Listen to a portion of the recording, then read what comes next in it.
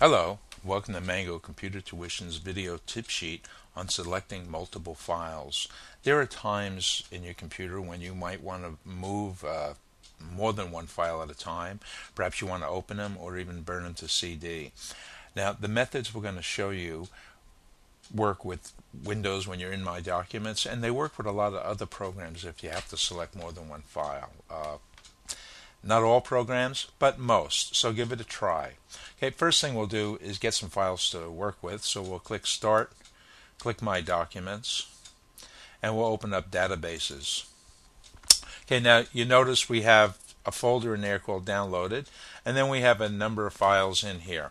Now, if we wanted to move these files, the procedure would be, you know, you would select one and you would cut and paste it or move it, whatever you wanted to do.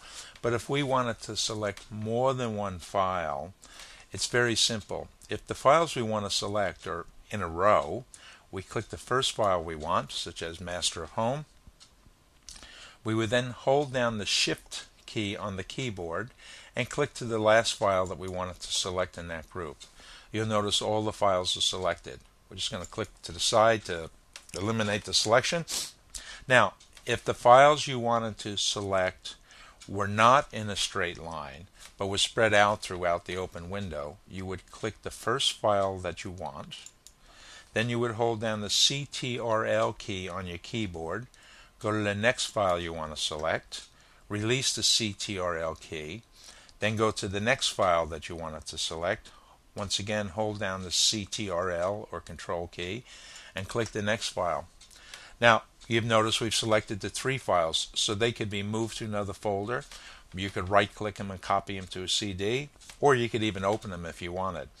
When you perform the action on any one of them, it'll perform it on all of them. This is also great when you want to uh, perhaps change file names. It would change the names of all the files.